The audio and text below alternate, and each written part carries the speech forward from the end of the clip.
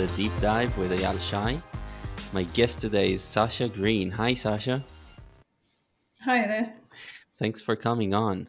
Um, yeah, I'm really excited to hear from you about an idea that's been helping you live well. Yeah, thank you so much for having me. I'm really excited to be here. Um, I guess my concept is something that was explored a bit by one of your previous podcast hosts, Martin Ellis, podcast guest, um, about this concept of saying no, you know, because it's something that's been quite instrumental in my life and setting up my life as I want, want it to. So that's really what I want to explore. Nice. Um, yeah, so I'd love for you to maybe pick a time or a snapshot where this is most relevant to you in your life, where you have um, a light bulb moment or realization that makes you think of it. Uh, what would that be? Um, I think it came over a long period of time. Actually, I mean, I, I, as a child, I was quite quite a happy child. You know, not really thinking too much about life and existence. And then in my teens, I was quite badly bullied at school um, to the point where I was surprised when people wanted to make friends with me or, you know, always suspicious of their motives. And as a result of that, it had quite an impact on my life. So I always tried as hard as I could to be liked. You know, so I would do things for other people that I didn't really want to do. You know, I would go places, you know, go to parties that I didn't really want to go to just to try and be this person you know, to even when I met nice people, you know, I'd, I'd, want to do, I'd put myself out too much to do stuff. And it all came to a head um, in about 2015.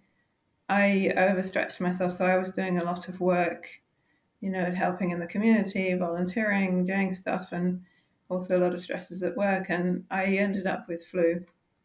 Uh, I was off work for four weeks and then afterwards, I had quite bad post viral fatigue. So, if there are any of your listeners that are suffering from long COVID, you know, they'll know the symptoms that of really bad fatigue, not being able to do anything. So, for about 18 months, I was literally just had the energy to go to work and come back and collapse on the sofa. You know, so this sort of forced this kind of idea because I had to say no to a lot of things, you know, because obviously you've got to keep earning money, you've I had to try and keep my job and and yeah, I think in those days this concept of mental health, you know, these days I might have just said, oh look, I need a sabbatical, I need a month off just to relax and or you know, even I need to take long long sick pay or, you know, some kind of phase return to work. But that sort of stuff didn't really exist back then and mm. and so yeah, that it, that was what the real catalyst of this because I was forced to say no to a lot of things um, that I just physically didn't have the energy to to do. Hmm. And so from that um, sort of low point up until then, at least if look through the paradigm of you know being productive, which is something that we hear a lot. Um, it sounds like today you might appreciate in a different way. Like maybe that was um, somehow a, a good thing, right? Um, I think it was a very difficult time of my life. You know, like I mm. lost a lot of friends. Like people would be like, "Oh, come for dinner," you know, and then I'd be like, "Well, I can't come for dinner," you know, and they'd be like, "Oh, but you know," they, it would sort of be like, you know, you you don't like me, or you know, and after a while, like people will keep on inviting you, but after a while, the invitations just stopped coming. I I really found out who my real friends were because you know, my real friends were willing to work around stuff. So they'd be like, oh, come for lunch, or, you know, so you're not so tired, or I'll come to your house, or, you know, things that would, would help me work with my temporary disability that I had. Mm-hmm. Um, but yeah, they were quite few and far between. A lot of people just couldn't understand this sort of and didn't really take the time. I mean, it's not necessarily their fault because people have busy lives and they have their own stresses and, and this kind of stuff. So you know, it, it's, but yeah, they didn't take the time to really understand what was going on and and to try to accommodate what I needed. So yeah, in the end, I had to say no to a lot of things.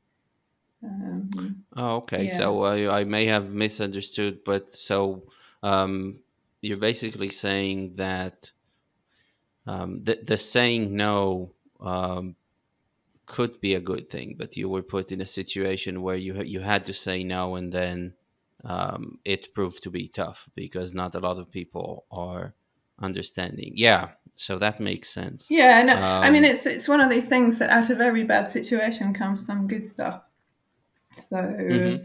you know, it started me, but that's what really started me on this journey of thinking, well, how do I want to set up my life, and you know, what is really important, and who is really important, you know, and and are things like social media are they important? You know, keeping up with people on Facebook that I don't really know you know, and haven't met for mm-hmm. years. And is this is this time really important? So that this was the catalyst, I guess, if you're if you're looking for a catalyst in terms of my thinking about this.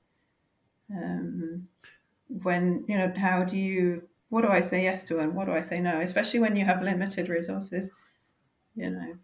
Mm-hmm. Okay, yeah. So I'm eager to know what are some of the things that made the cut, some of the things that were left out, and uh, what some of the criteria are? Well, there were kind of two. I mean, I guess I had two cuts really because the first was the cut I had to make when I was ill, and then the second, you know, lockdown came um, in 2020, and this again was a big catalyst for me because um, it it there were things that I couldn't, they just suddenly stopped. And in some ways, it was actually a relief. Like I remember when lockdown came, you know, I realized that things must be bad because the thought of spending six weeks in the house and not having to go out and not having to do anything was actually a relief, you know, because I was like, oh, finally I get a rest. So, but I think, yeah, like I say, you know, I realized actually I'd been trying to keep in touch with a lot of people that actually maybe weren't you know, giving it sounds quite selfish but you know weren't giving me anything in my life you know which i think is mm-hmm. important because any relationship has to be a two-way a two-way a two-way thing you know it's got to there's got to be some give and take otherwise you know i always say if you're just giving to somebody that's fine but that's charity you know it's almost mm-hmm. like you mm-hmm. give your money to a charity you can you can give your time to to someone that needs help or you know without any expectation of getting anything back. But that's that's not a relationship that's not a friendship. That's that's in a way giving your money to giving your time to charity. Um, so it, for me it's a totally different thing. And actually that's one of the things that has been quite an epiphany for me that there are some relationships which are two-way you know they're very specifically beneficial to both people and then how do I separate out that feeling of, oh, yes, I can give my time to help this person, but I'm not going to get anything back. So therefore, I shouldn't be expecting it. So I put them in two different buckets. And mm-hmm. that's been very helpful in a way that to actually do that mental separation because it makes me feel less guilty. You know, if something's in the charity bucket, it makes me feel less guilty about saying no. Yeah, yeah, I I totally I totally see that being the case that we need reciprocal relationships, right? Where the where the people trying to benefit one another is is mutual. Otherwise, it's it's it is draining, and it's not a, that easy. I think to get to that place in this day and age. Um, there is a lot of kind of utility thinking behind everything, and we've been trained to think in this way i think because of how we do business and other things. And um, i've been thinking a lot about trying to create those relationships and i've been doing it. And i've just recently been kind of almost disillusioned with the more online communities actually realizing that yeah they they are in some way for example twitter. I mean it's the only one that i really do but it's really designed in a way where the where the actual reciprocity is like so minimal. It's like really at the level of the like most of the time, you know. And it's like you dig a bit deeper, not a whole lot in there, right? Um, yeah. So, what uh, did you come up with uh, new strategies or or tactics to, or some thoughts? Not not to make it this whole thing like extremely cerebral or anything, but so, some um, actions that can be taken to create more of the friendships that are mutual?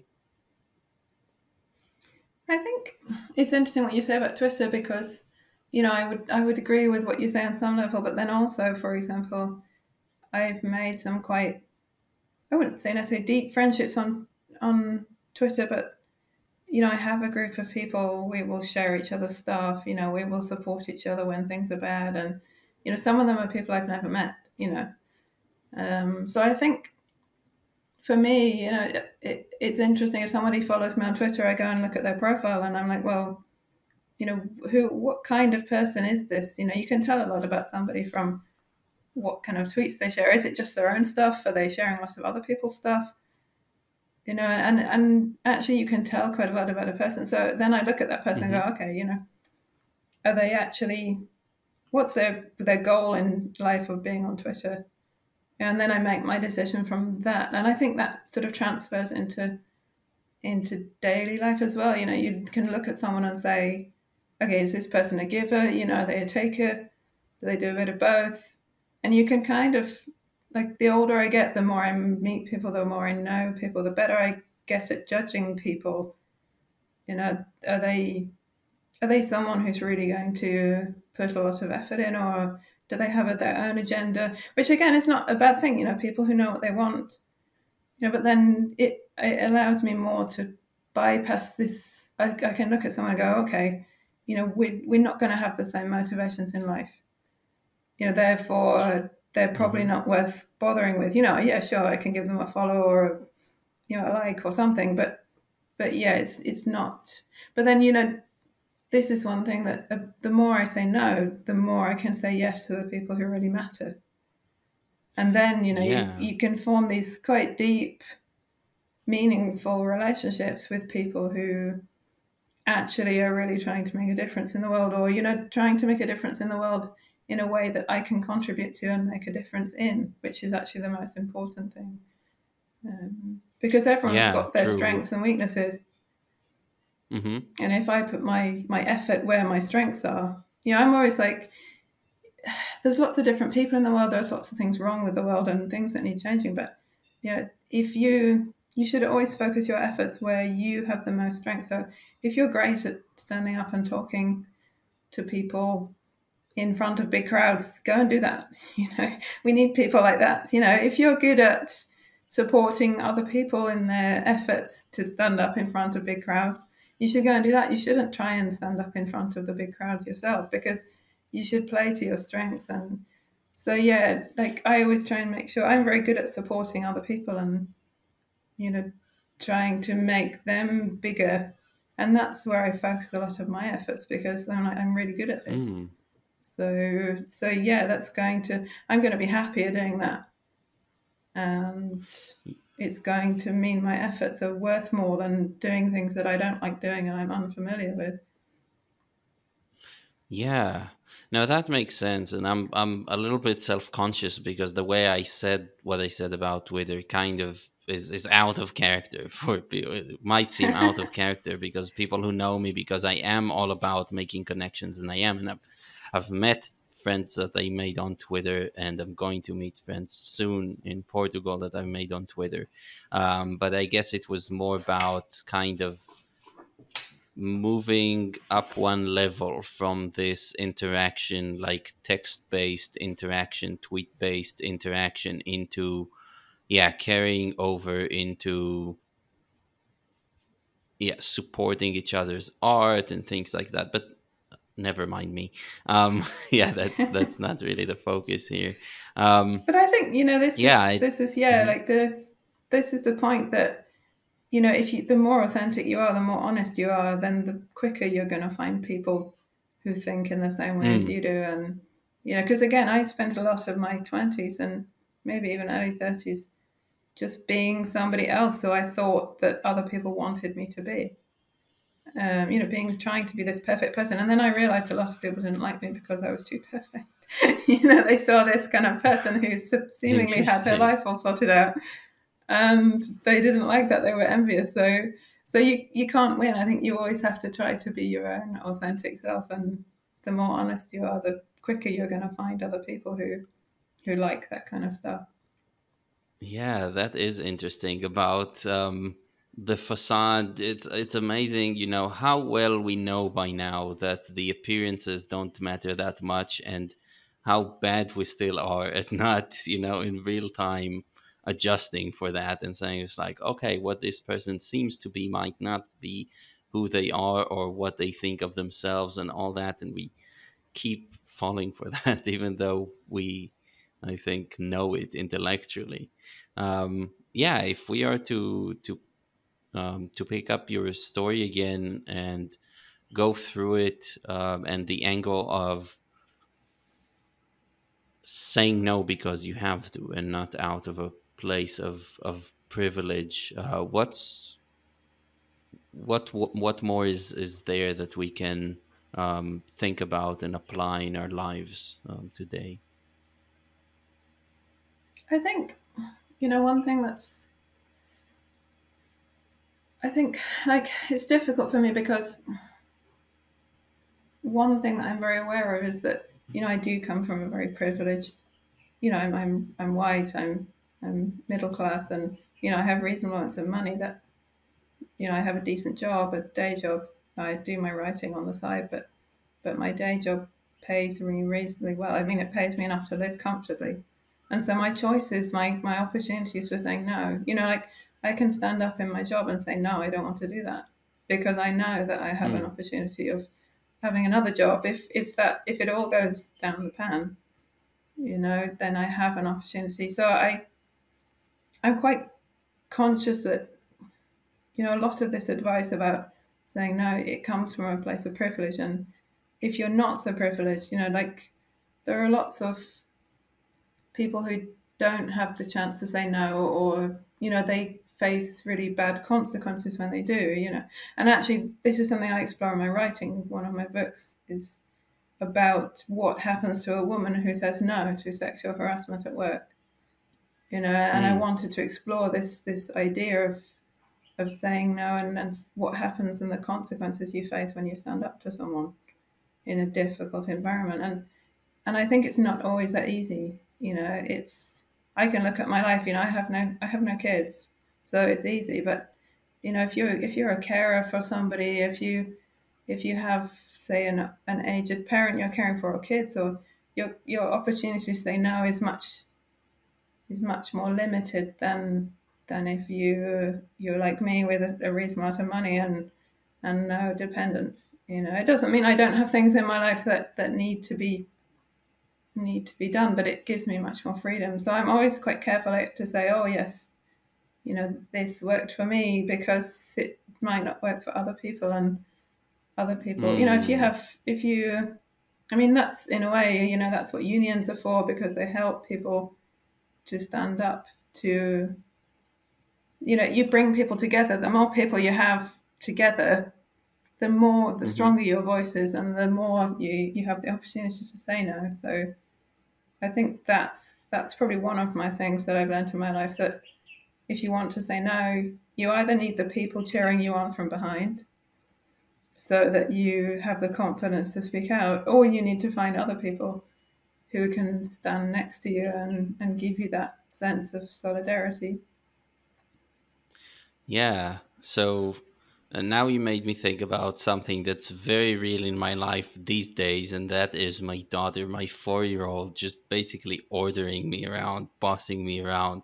And I, I, really find it interesting. It's like not easy to figure out how to how to respond to that and make her be less bossy, uh, more independent, and um, yeah, there's no there's no quick answer. It's like my wife and I both are quite confused about it because you don't want to say no about everything, uh, but you do want to have your um, limits and yeah, it's unclear what consequences there are going to be if, if you say no all the time because you don't want her to feel unwanted you don't want her to feel um, yeah basically rejected in any way. And yeah there are a lot of interesting questions around that. Um, and another thing is you know what what do you do if if if saying no is going to put you in some sort of predicament about money or something like that? Um,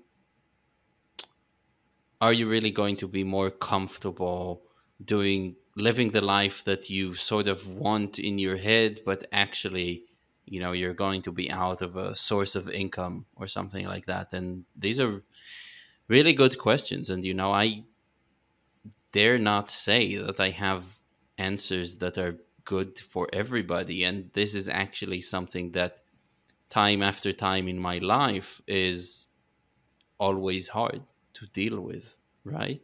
Um yeah what what are your Yeah, and I, I think it I think kids are interesting because you know one thing. I mean, it's changing a lot now, but when I was growing up, you know, my my mom was very like she encouraged us. She was like, "Oh, you can do whatever you want to do with your life," and and she never made us feel that you know we were anything less because we were girls. And but then you know you get into the real life, uh, the real world, and I mean I'm I'm in my forties now, so going into the world of work, and and I came across lots of other stuff, and women were really it's it's changing now I think, but it's still a big problem. And women are really encouraged not to take up space. You know, so actually your daughter mm, makes me really happy because you know she's taking up space, you know, and she's pushing the boundaries, and and I think this is a really good thing. You know, um, I think what another thing that was interesting about my upbringing was my mum, you know, in terms of saying no to kids, my mum never said just no. It was always like no because. So there was always a logic mm-hmm, behind it, and then you know we'd be like, oh, okay, that that makes sense, you know. So it made this no much easier because I mean sometimes we wouldn't agree with her, and then you know there'd be some kind of argument, but but you know it, a lot of the time it would just be like, oh no, you can't do that because and then we were like, oh, okay, yeah, sure, that makes sense. You know, that makes total sense. So, so that made the no a lot easier. Um, but, but yeah, I think I think this question of there's never going to be one answer that's right for everyone. You know, and and you know, some days is not it's not the day to say no.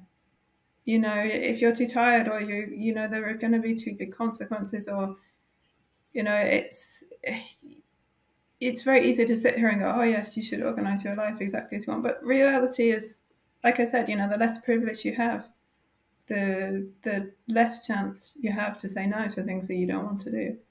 And but yeah, I think also, you know, we've talked about Twitter and social media. I've seen it all used for a great benefit for organizing people, for making contacts, for you know, for organizing action, for changing people's views, for making people realize, you know, it's one of the things I write books about mental health, and people have contacted me and said, you know, I thought it was just me.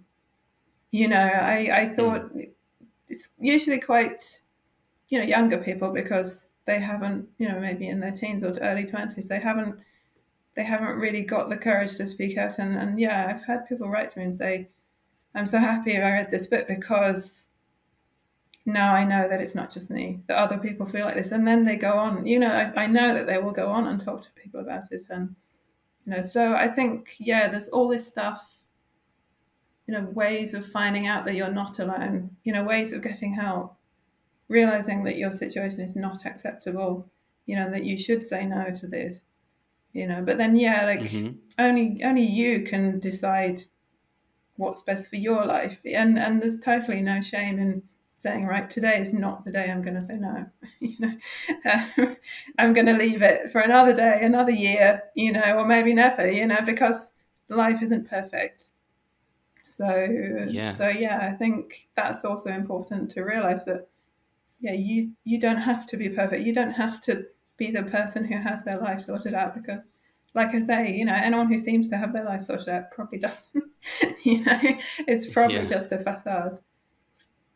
Yeah, yeah, absolutely. I agree 100%. And it's very interesting. Yeah, I think there's merit in noticing, monitoring your own um, feelings about things. And we want to be able to do things that are uncomfortable, right? So we were talking about relationships. We we are faced with situations when we're asked to do things and uh, if if we just did so instinctually it would be a no because it's inconvenient on something.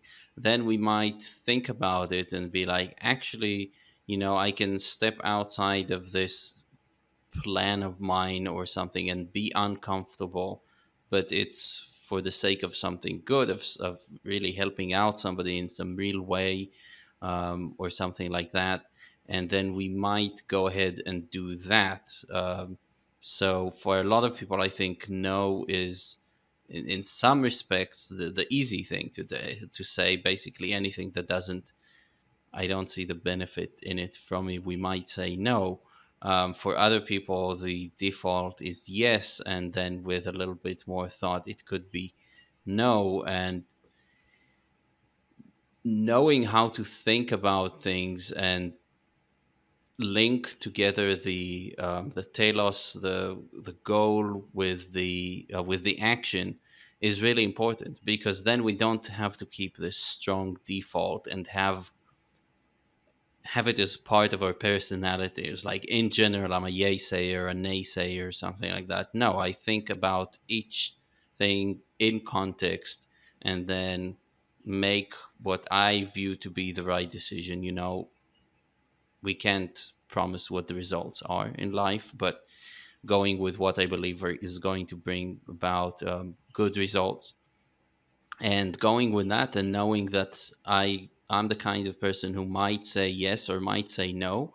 I think that for me in my life, I also noticed that as I got bet- better about knowing what is good for me, it was becoming easier to say no and not just not not just say no but also not apologize in the sense of giving an account like coming up with an excuse. It it can be such an instinct you know? It's like i don't want to do it so i might i might um attach a little lie to it as well. Oh my mom is sick or this person is that or um, i have to work early or something.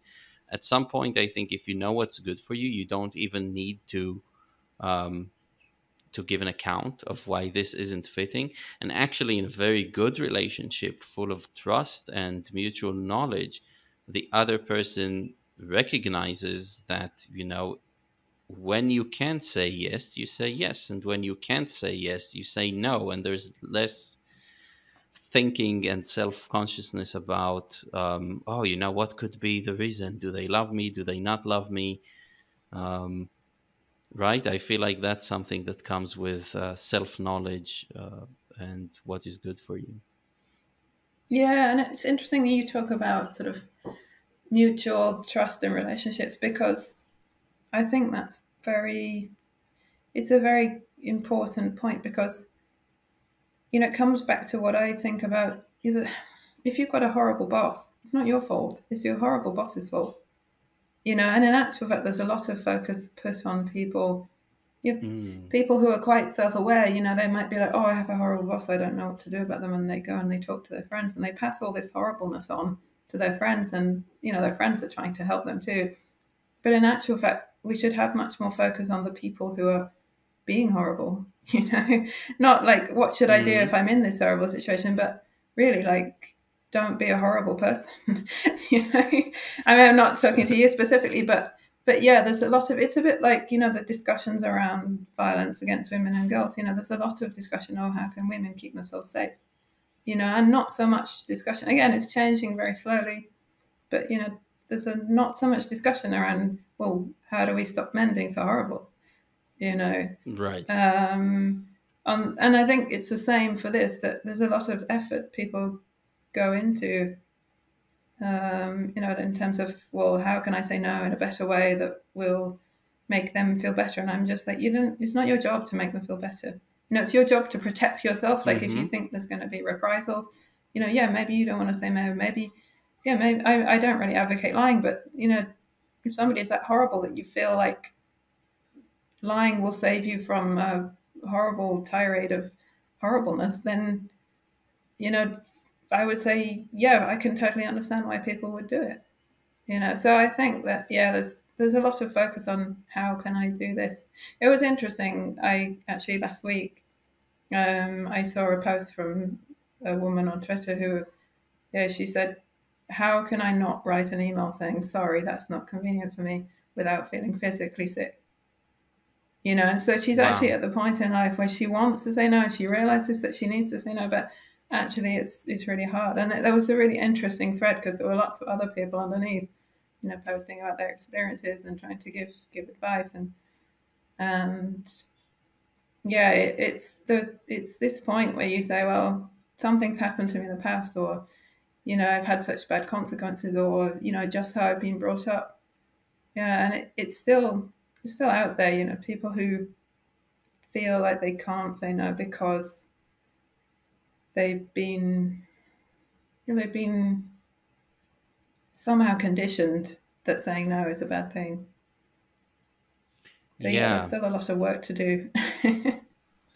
Yeah, well, first of all, I'm um, now I'm with you on my daughter. Now you're making me feel a bit happier that she's saying no all the time, even though she never waits for the because part. It's just like a straight.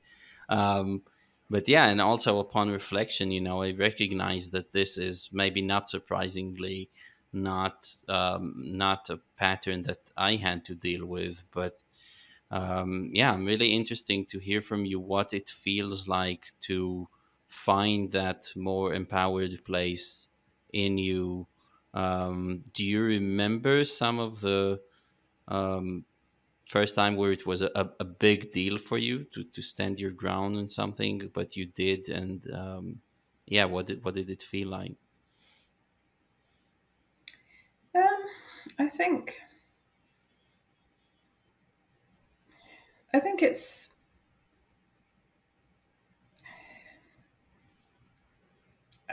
it's tricky to think about a specific example. Um, you know, it's been a lot of sort of small examples, just letting letting things slip. You know, I, I tend to just yeah, it's it's always tricky you know, I'm not, I wouldn't say I'm perfect at it. You know, I have things that I'm still doing in my life that I kind of want to give up that I, I don't know how yet. I haven't got the strategy yet for getting rid of them. So I wouldn't say I'm perfect, but, but yeah, I think, I think sort of about three years ago, I changed my job. I was in a very stressful consultancy job, um, managing lots of stuff. It was very stressful, and and I just turned around and said, you know, no, I don't want to do this job. Yeah, and then it's like, well, how do you get out of it?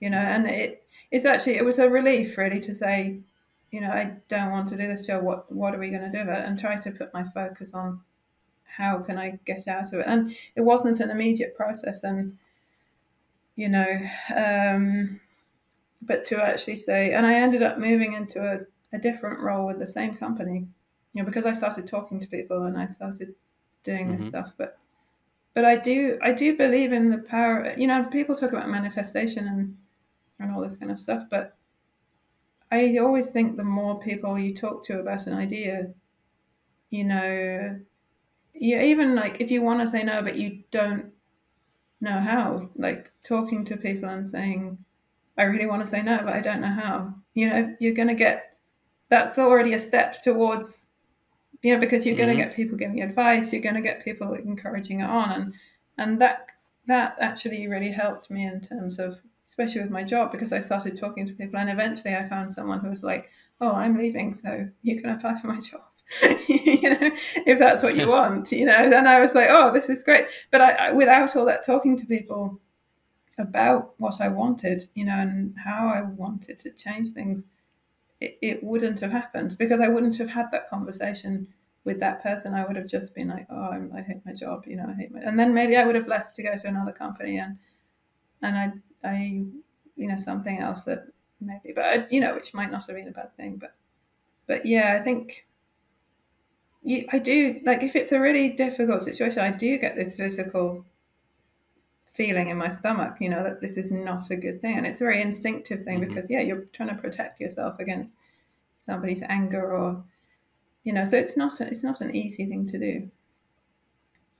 No, no, it's, it certainly isn't, you know, and when, when I hear about, or we talk about situations like that, I'm always placing us in, you know, let's say 20,000 years ago in a tribe of hunter gatherers and thinking about how these kind of dynamics would play out there.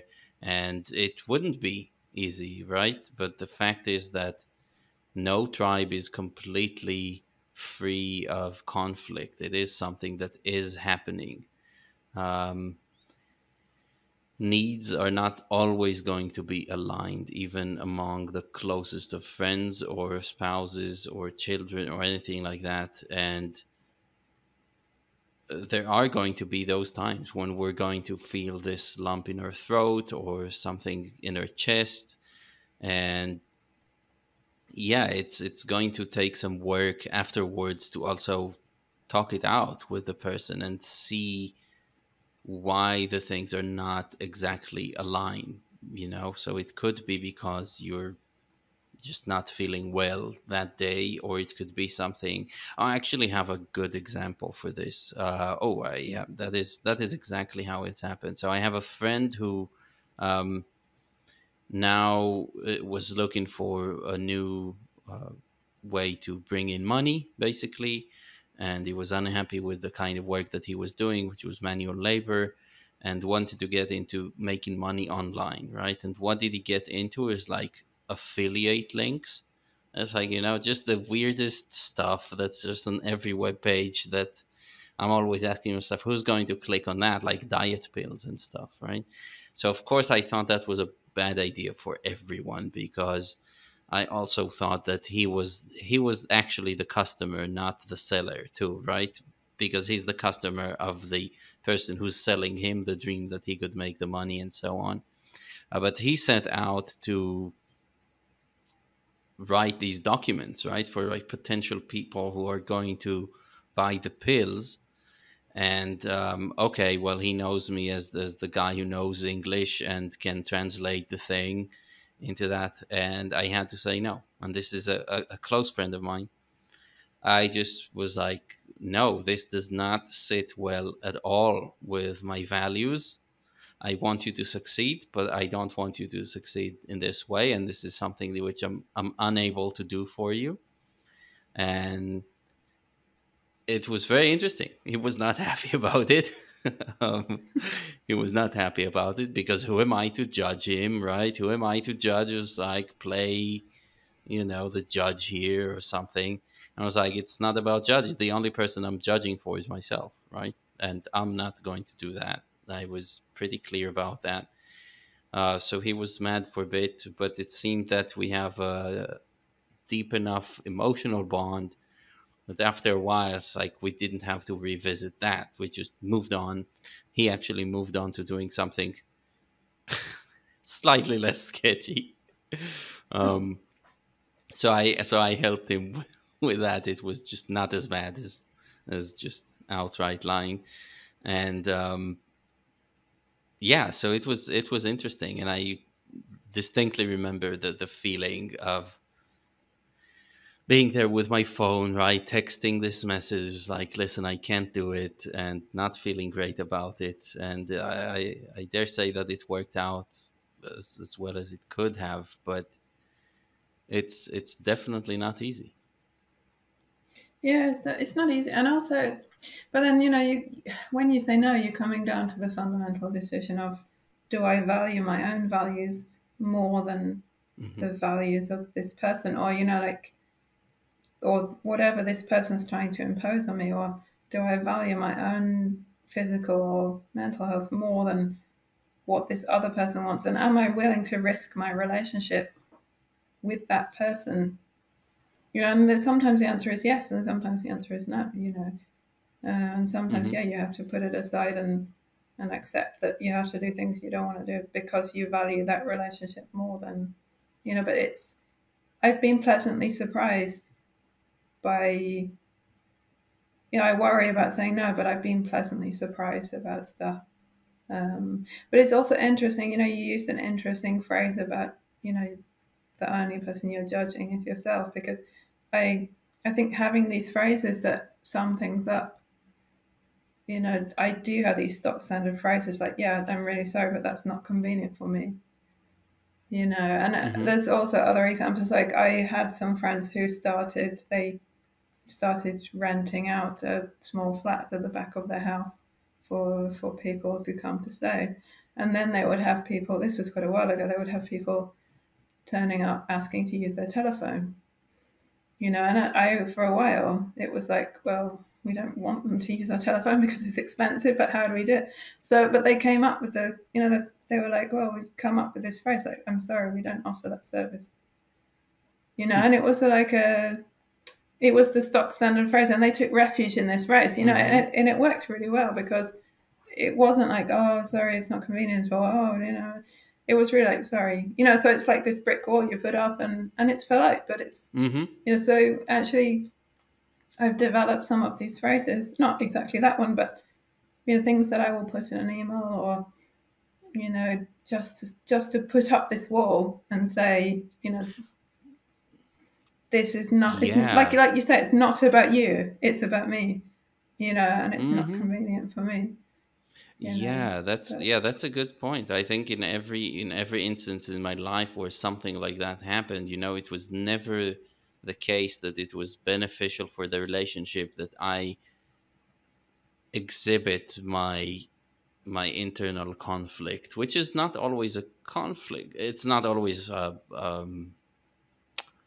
yeah like a, a very terrible conflict but the feeling is not good to say no to a friend and knowing that they're going to be disappointed and they're going to think about this and that. But you also have to remember that um, if done correctly, they could look at you and be like, "Oh, you know, good for him for not not for saying no." In a way, that's clear communication, and they do that not only because they care about themselves, but because they care about me. And they are able to tell me that they won't do it for me.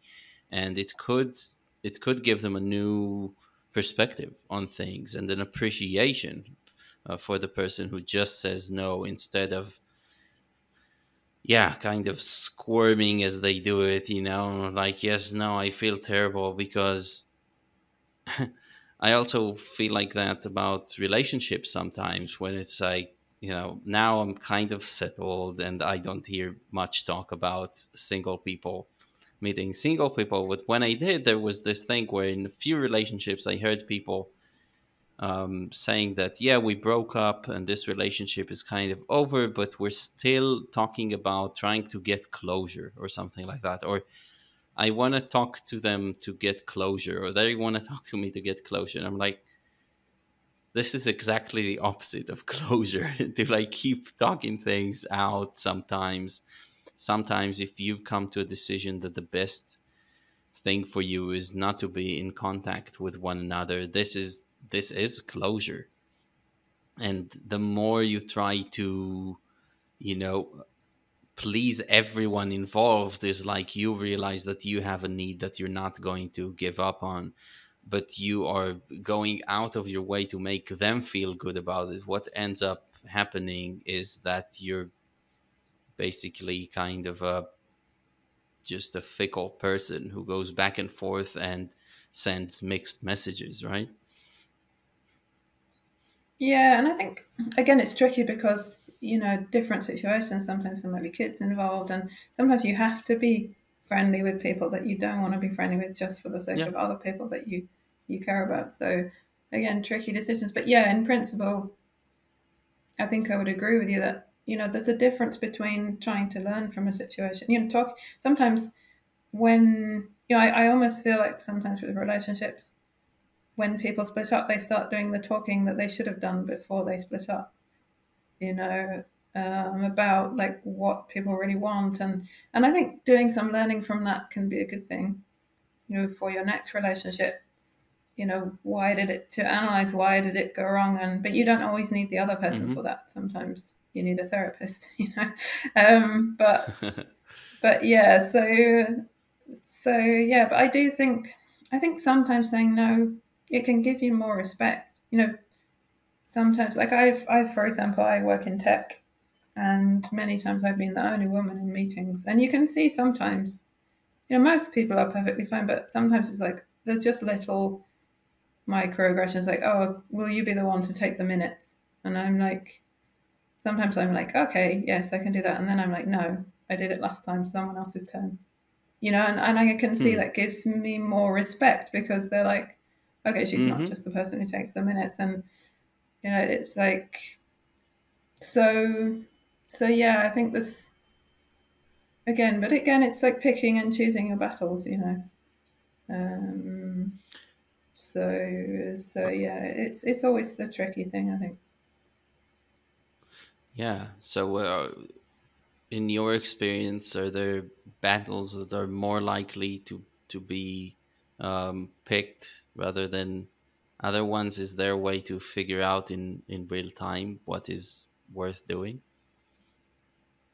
or saying no I think like when I feel like when I was younger, I cared a lot about a lot of things. I would always try and fight every battle and you know push the boundary and but things that didn't necessarily matter. And now, yeah, I pick and choose my battles much more carefully, you know. But then also, I'm much more outspoken. I'm like, you know, this is 2022. This shouldn't be happening. you know, it's like so. I'm much more, I guess, belligerent. Maybe is maybe the right word about when I give pushback.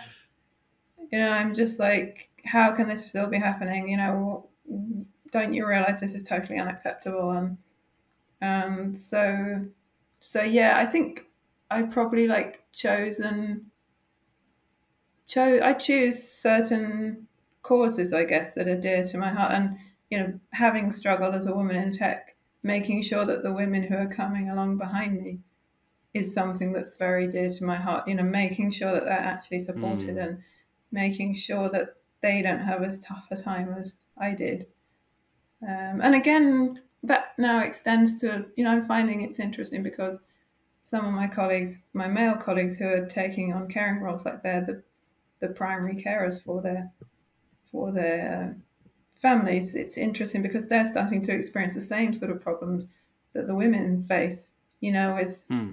if you can't stay late to do work, or if if you, yeah, no, you can't swap your days off around because you have to take care of the kids, or you know, they're they're coming across the same problems, which is interest fascinating for me that these problems are still there, but they're not necessarily some of them are not necessarily specifically women's problems. It's it's caring people's problems. You know that society isn't Mm-hmm. really set up to support people who care for things outside work. You know, it's like yeah, if you can't go off for for days to go and do work, then you know because you have to look after your kids, then then this is something that's not acceptable. Yeah, it was. Uh, I think the moment I realized that working for, uh, I mean, everything to do with Elon Musk is a kind of a cult, nothing short of a cult, is when I read this memo of his basically saying, you know, if you want to work for SpaceX or Tesla or any of these companies, you know, you basically have to sleep in the office like me because this is how I do it and work until 3 a.m. or something if there's a deadline and do all these things. Like just painting this picture of an extremely unbalanced lifestyle that I doubt could be good for anyone. And, you know, basically telling people is like, here's the filter. If you pass through this filter, is like you can come, you're worthy to to work here um, and this is like a, a very this is a crazy power move by a sort of a cult leader to say something like that to set the bar so high and you know basically say say out loud that this is not about uh, individual well-being but about the success of the company right? And it was um, it was very interesting to see. And it's amazing to me that people have so much respect for example for for Elon Musk. And uh, there could be respect in in the in the field of tech and innovation but it's like clearly he does not know or doesn't care about human well-being which was very interesting. And basically anybody who came with this who was on board with this um, kind of also set themselves up to saying yes, I guess, to Elon Musk in the future because they metaphorically signed the thing. Yeah, and I think it's interesting. I find it fascinating how society continues to to glorify these kind of people and you know Mm-hmm. I mean we have a big problem in the UK with people being expected to work hours. You know, you get a contract for 40 hours a week or but you know somehow you're expected to put in this extra stuff. And actually you're in a way that's almost like like modern day slavery, you know, that you're you're supposed to you know it, it's it's it's very like you say it's very exploitative and it's it's very yeah I, I don't understand how we we continue to sort of glorify this kind of feeling that yeah working long hours and monetary success and you know for me there's so much more to life than this and i i, I, I can't understand it. But you know i guess everyone has their own values and you know but then i think that's the nice thing that i'm seeing now more much more. I mean the pandemic was terrible for so many people but it also forced a lot of people to have a rethink you know and have people say oh I, i've been on furlough for six months. I managed to actually spend time with my kids you know to actually see them. And then they're like well this is what's really important in my life. How can i try to make this? And i, I see a lot of you know there's a lot of strikes going on in the uk at the moment. And this is really people Mm-hmm. trying to say, you know, this is not good enough. You know, you cannot pay us a Mm-hmm. small wage, you know, while you sit at the top and earn lots of money. Um, and it's in. I, I'm really interested to see how it goes and where we get, you know, because it's all in the process now, and life seems very bleak at the moment. But but there's a lot of people doing a lot of things. There's a lot of people standing up and saying no at the moment, and I'm really interested to see. I really hope that it changes things because yeah, you know, the, the there are things that are not right with the world, and and it, I'm cheering them on. Basically, all these people saying no, I'm, like, I'm Yeah. just like, yeah, you go for it, come on, you know. And again, I'm supporting them from Yeah. behind the scenes in the best way I can because, yeah, like it's not it's not right that someone should work hard in a job and at the end of the day not have enough money to feed their families. You know, this is just not it's not it's not moral for me you know it's not it's not right. So so yeah i'm really excited to see where things go and and what kind of successes they have. And um, but again really annoyed that they actually have to fight because like i said it's the people who have the privilege everyone with privilege they should be checking themselves and saying you know how can i pass my privilege down the chain to people who have less um, Yeah, yeah. This, I mean, I'm so happy looking at the, you know, millennials are known for being these kind of undependable employees because they might want to move on to a new company or something, and Gen Z, Gen Z the same, and I gotta no, this is this is good. This is good. This is um, this is the kind of pushback on a societal level that's going to make employers think harder about what they uh, what they really want for their employees because I think in a world where obedience was almost taken for granted in my parents' generation, stuff like that, they could just be loaded with all these things and all these different tasks and the expectation and there was knowledge that they were going to take it upon themselves and, and deal with it. And if they fail, they were going to be mad at themselves and not at the employer. And now this is this has changed, and I'm happy to see it. So a lot of people will say things like, um, you know, this is this is bad. It's like these lazy lazy bastards are just they want money for doing nothing and so on. I, I think that's not it. I think that a lot of the people who do it very consciously give up on a lot of money. And and they give up on a lot of money because they recognize there's there's more to life than just achieving this status of a successful person. So i'm really interested to see it when the great resignation was a big topic in the news you know it was great. I, I love seeing it because this is this is about time. I mean these people i don't think any person today basically. Read uh, Karl Marx, but talk about people who are more vocal about the kind of life that they want to to live and you know looking into the eyes of their employers and standing their ground. So yeah i'm i'm definitely with you on that. Yeah, but again, I mean, you know, the flip side of that is lots of people are experiencing negative consequences from, you know, like I mean, you talk about them being slammed in the media, but but yeah, there are lots of people they stand up and they say no.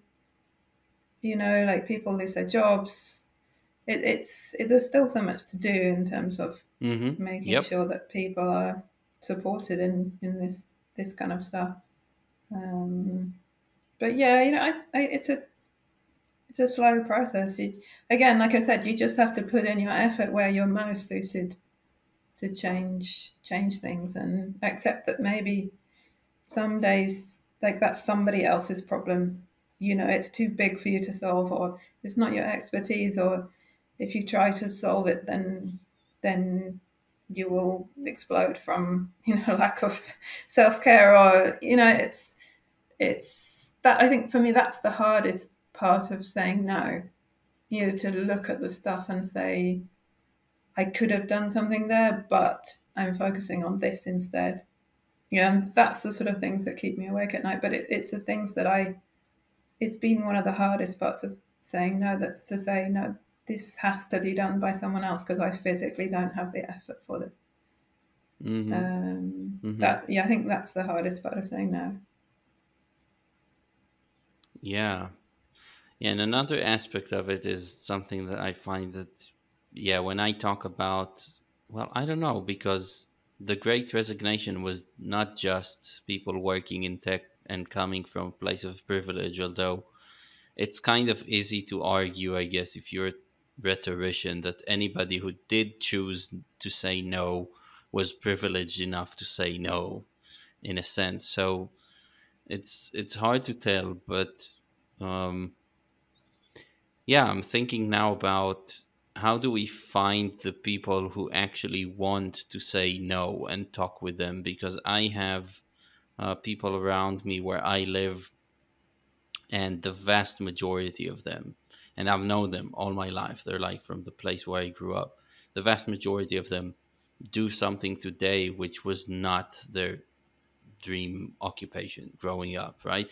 So and yet if i brought this to their attention there would not even be a discussion you know there would just be just like well life happened and then this this is now our lives and I I wouldn't be making much progress if I was trying to support them in saying no or something because they're already past the point of even entertaining the the thought of doing so. So I'm wondering how to recognize people who want to say no. I su- I suppose they're they're probably the the people who don't do well in school in terms of um, yeah, just maybe they are still saying no as teenagers and they're getting flack for it. So we might be able to reach in there and maybe pull them out or support them in that space, I guess.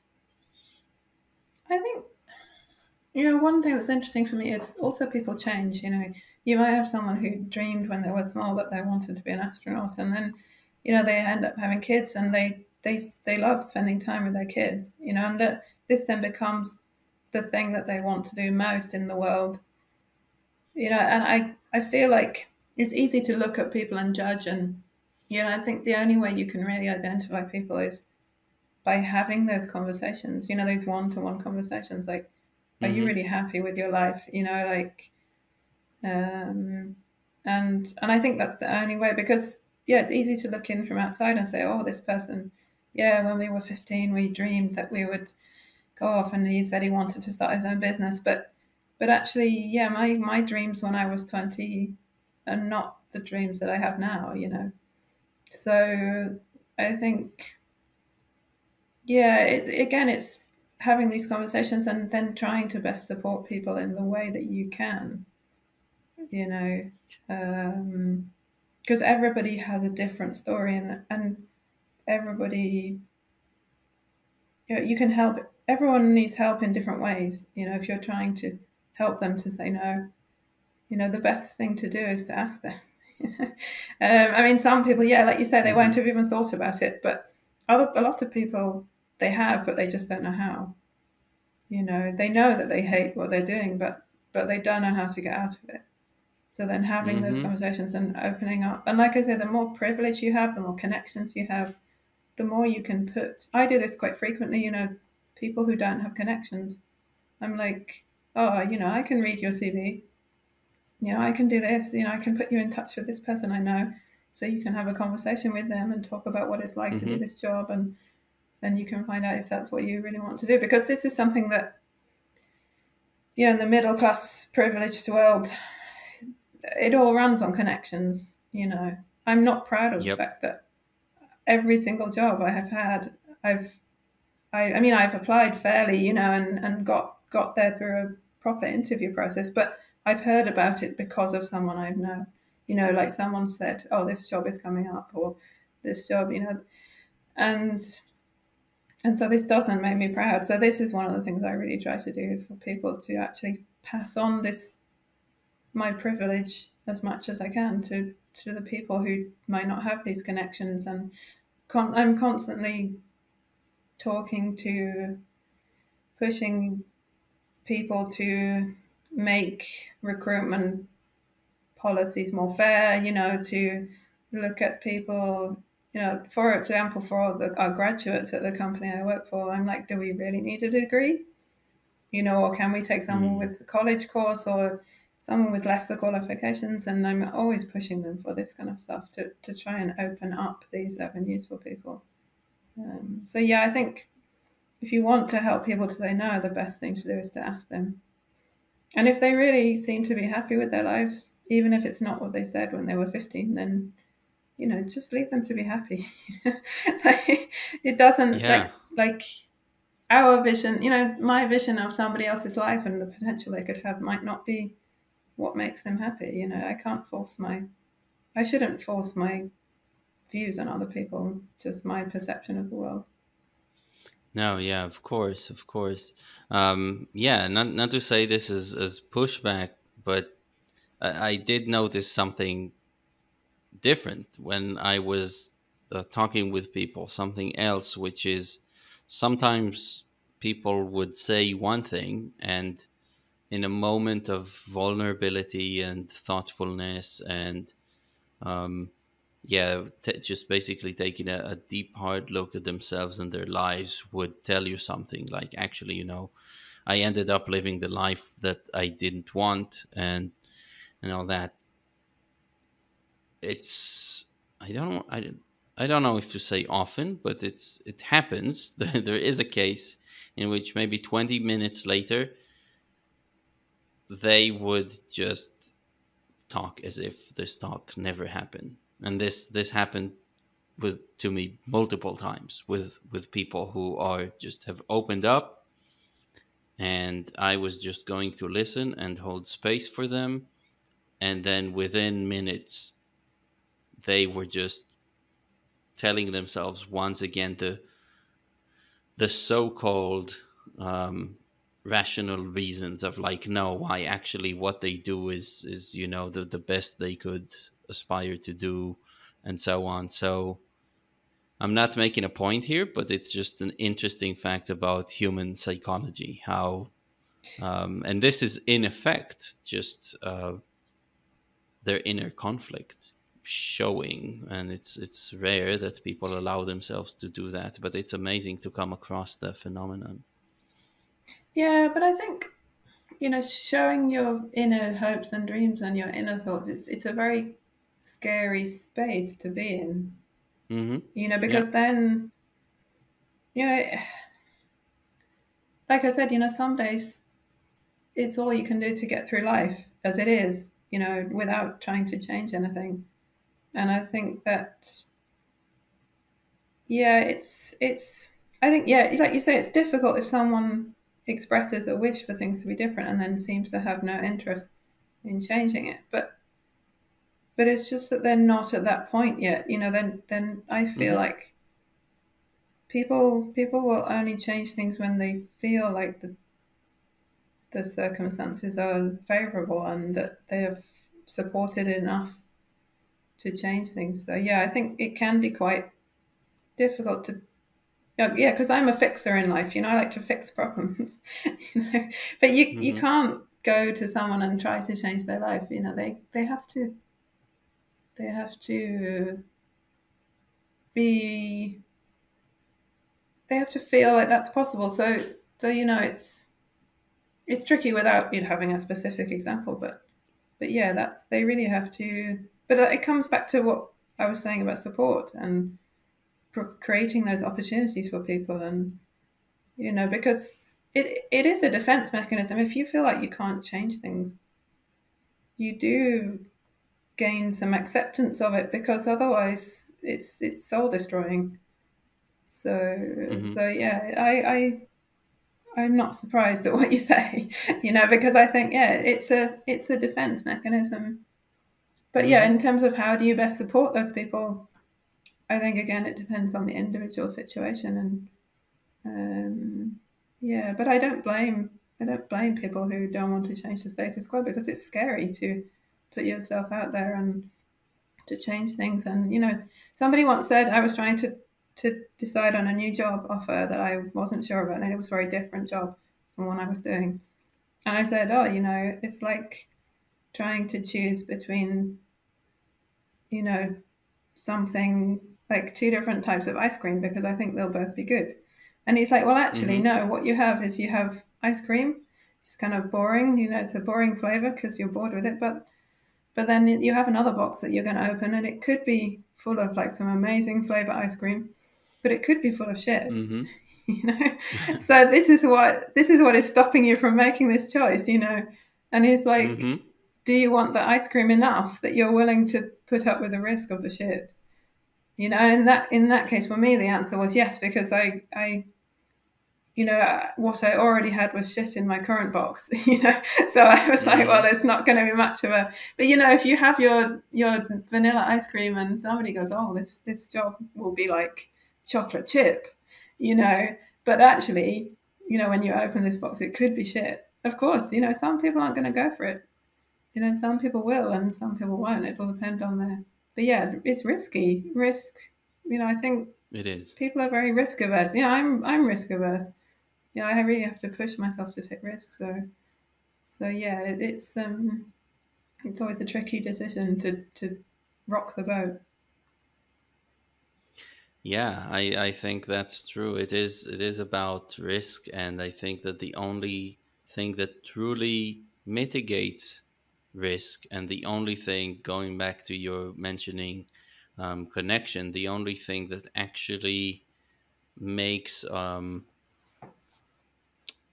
our life actually get much better in many respects is is the connections that we make for um, for better for worse. Like if we don't have connections and we're just out there taking taking a chance and going for a, a, big shift in how we live and in our job then it's much more devastating to find shit in the box you know for sure yeah uh, whereas, and i think you know if you mm-hmm if you have those connections, you know, if you know you you've got support, you're much more likely to take risks. Mm-hmm.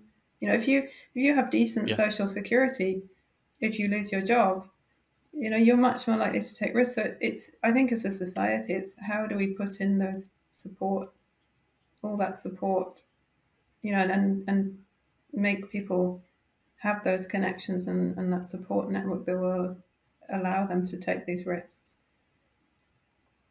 Yeah, yeah, absolutely. Yeah, well, I, I hope that um, that we lay the foundations for some future um, talks with people that would prove to be good support. So if anybody listening wants to reach out for um, a conversation, uh, you're more than uh, you're more than welcome to find us on Twitter, right, Sasha? yeah, for sure. I always like yeah, talking I... about this stuff. yeah. Um, yeah. Lastly, I, I'd love for you to share any details about. Uh, I know that you've written two books, right? And um, yeah, we'd love to know where these could be found or where some other um, writings of yours and ideas could be found, found online. Yeah, I tend to share stuff on Twitter, um, you know, in terms of thoughts and and um, stuff. I mean, I I I do occasional podcasts and uh, yeah, but my my two books you can you can order them from almost any bookshop, um, and there's ebook versions too. So, but yeah, they they should be available almost everywhere. So whatever your Great. preferred choice of choice of book book supplier, Yeah. you should be able to get them. But um, but yeah, I'll I'll link to um to yeah to any resources in the show notes, of course. Yeah, well, Sasha, I'm really grateful that you said yes to doing this, um, and really enjoy the the conversation. no, it's been great. Thank you. Thank you.